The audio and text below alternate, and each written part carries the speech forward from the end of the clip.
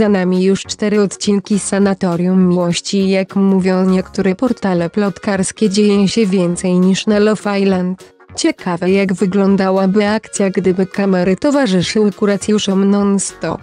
Taki Big Brother Sanatorium Miłości. Na pewno najciekawsze akcje dzieją się właśnie po zniknięciu kamer. Hitem tego odcinka był z pewnością Edek, który wyjątkowo pokazany został najwięcej razy.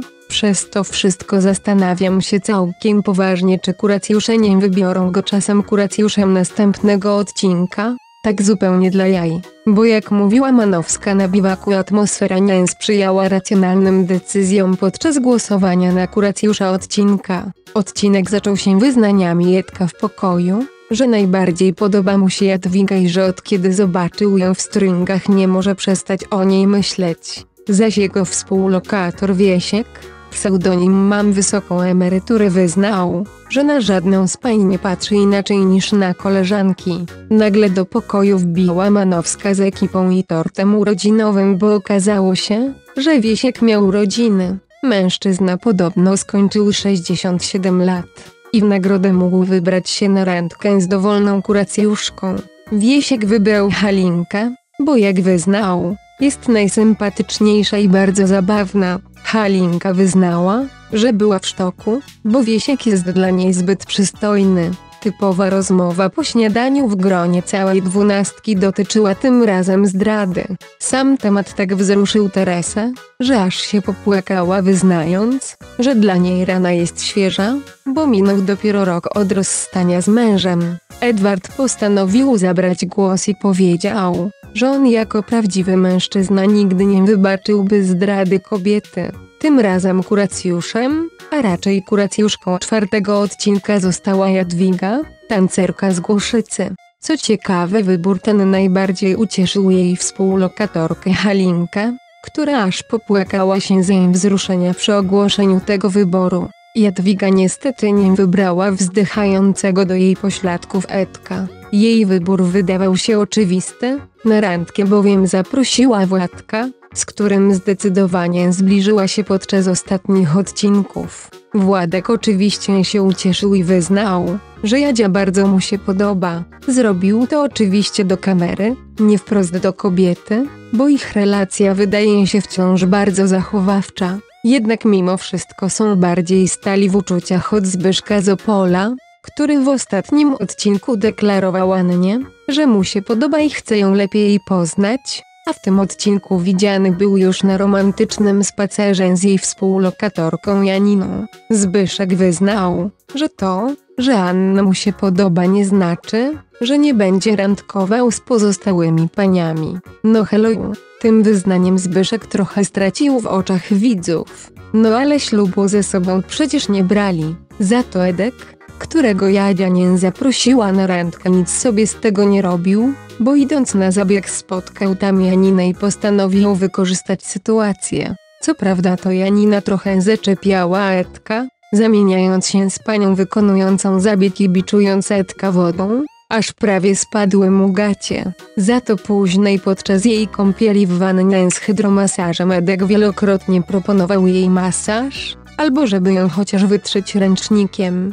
Przy tym wyznał, że dla niego nieusłyszane od kobiety to ciągle tak, dlatego nigdy się nie zniechęca i wielokrotnej odmowy Janiny nie zrobił na nim wrażenia. Później dwunastka udała się na biwak w kamperach, oczywiście koedukacyjnie kobiety w jednym, mężczyźni w drugim. Manowska zabrała ich do kopalni złota, gdzie mogli sobie pojeździć kolejką i pozjeżdżać na zjeżdżalni. Edek oczywiście nie próżnował i dorwał Annę, która szła na końcu, podając jej pomocną dłoń i przy każdej okazji ją dotykając i całując. Edek wykorzystuje każdą sytuację, żeby wyrwać jakąś panią, nie to co reszta. Później Manowska zarządziła dwa zespoły i konkurencję na przesiewanie złota. Tym razem wygrała drużyna Andrzeja, w której był Edek, także nie było żadnych pretensji, bo jak wiadomo Edward milicjant nie lubi przegrywać. To wszystko tak podniosło ciśnienie Teresce,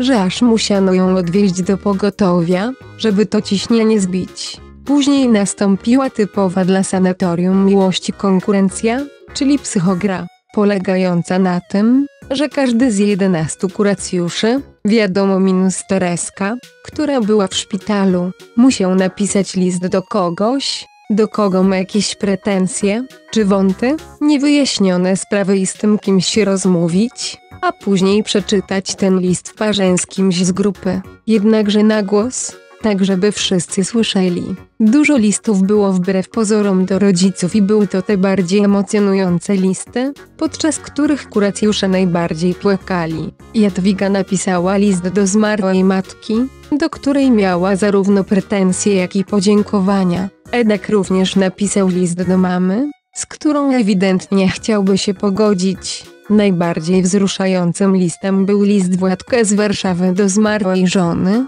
w którym to zdał jej raport z tego jak zajął się ich córką po jej nagłej śmierci. Opowiedział o jej sukcesach na konkursach i ukończonych studiach mówiąc, że dobrze się chyba spisał. Władkowi, który jest raczej powściągliwy wyjątkowo łamał się głos kiedy czytał list płacząc. Z tego wszystkiego wyemitowano rozmowę Władka z Manowską, tą w cztery oczy, którą to Manowska odbywa w trakcie turnusu z każdym z kuracjuszy bawiąc się w psychoterapeutkę, zadając pytania i robiąc smutne miny. Władek opowiedział jej o swoim pierwszym małżeństwie z pilotką wycieczek, które zakończyło się rozwodem, bo jego żona wolała być adorowana przez mężczyzn na wycieczkach niż być z nim w domu. Opowiedział też o drugim małżeństwie z miłością jego życia, z którą wziął ślub będąc na kontrakcie w Libii. To do niej właśnie pisał list podczas grupowego zadania, ponieważ jego druga żona zmarła na raka zostawiając mu pod opieką ich 14-letnią córkę.